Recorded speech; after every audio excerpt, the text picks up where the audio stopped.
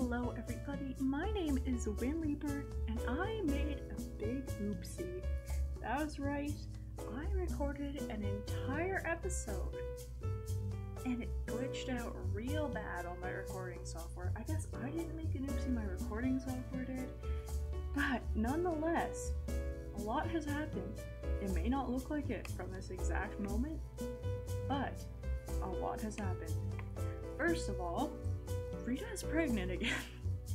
if you will watch the last episode, you will know that what happened was we had our two toddlers, Adelaide and Gerard, who's over here, and we had our two babies, Fred and uh, Shaggy. And we had just given birth to Fred and Shaggy. We were not pregnant, none of this happened. But in the last episode, I guess, that I'm not going to be posting because of all of the glitches. Like, it's just way too much. Like, at first, I was like, okay, well, that part glitched. I can fix that. I can make do as long as I record uh, just like some other stuff to fill in the gaps.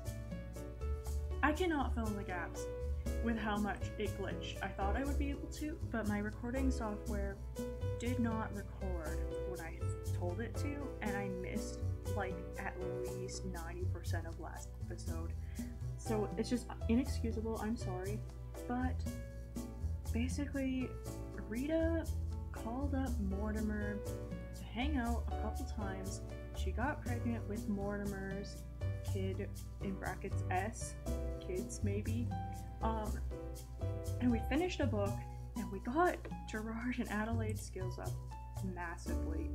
Like, her needs are bad, but look at her skills. We started off with like barely any, and now she's movement level 3, which is basically done. Imagination 2, communication almost at level 3, thinking almost at level 3, and potty almost at level 2. So she's doing well, but that's nothing compared to Gerard. Look at this. He's level 3 with two skills already, almost level 3 with imagination, almost level 3 with thinking, and almost level 3 with potty. So these two are like kind of getting close to being able to age up.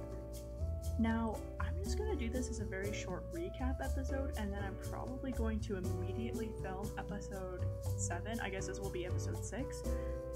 Episode in quotations, but um, I just basically want to show you what happened. But yeah, obviously the babies are babies, nothing happened to them. Rita got parenting level 5 is probably the most interesting thing that happened with her other than pregnancy. And also she finished a book. And yeah that's pretty much it. Like not that much happened. Like it was a really good quality episode if i do say so myself. But uh i think the best way to do it is just to recap was making jokes left and right i feel so bad i had to cut them out like i almost wish i could just like keep the footage anyway. but I think I'm gonna have to scrap it, and this will be episode 6 instead. So I'm sorry for the millionth time. Please still keep watching the series. You didn't like you didn't miss too much. I know you would have probably liked to see Rita and Mortimer interacting. It wasn't like too difficult anyway, like not that much happened. But yeah, we are where we are, and that's all you really need to know to keep up to date uh, for the next part, which will be filmed properly. I will make sure of it.